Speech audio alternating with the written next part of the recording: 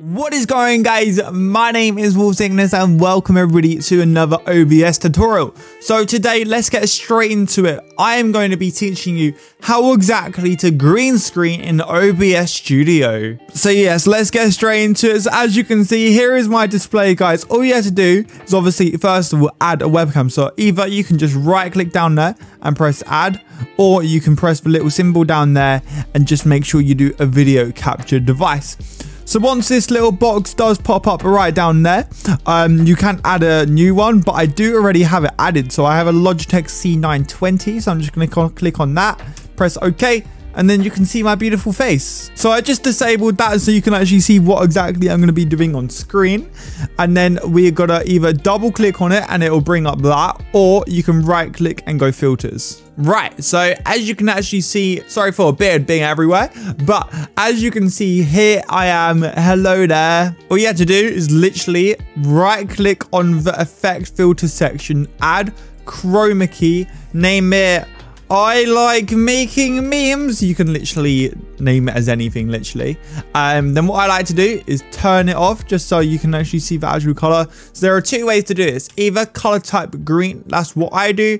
But if you have some like really weird lighting, or I don't know how exactly, because obviously everybody's lighting is different, press custom, select color, drag that over there, pick a screen color, then like add like that. And then you just like kind of just alter by that. But as you can see, that doesn't look great.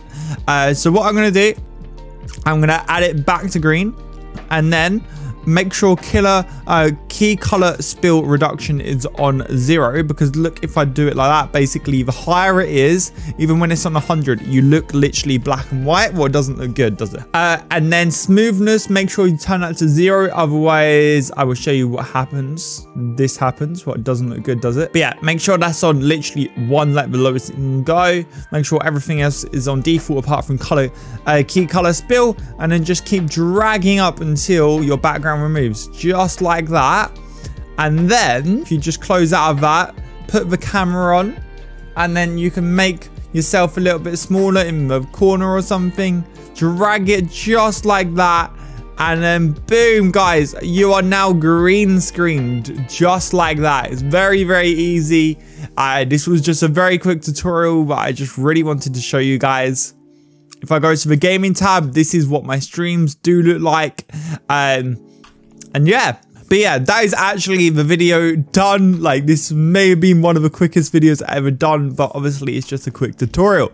Uh, but yeah, let me know down below if you have any issues or anything down below in the comments. Obviously you can see like little sparkly kind of stuff, whatever that stuff is, but obviously when you're playing games like you can alter it a little bit. See i've fixed it a little bit right there. I just added it was on 492 but i added it to 499 and it does look a lot better now doesn't it? But yes guys thank you so much guys for watching. My name is Signature you guys are absolutely awesome make sure to like comment and subscribe if you're new in here.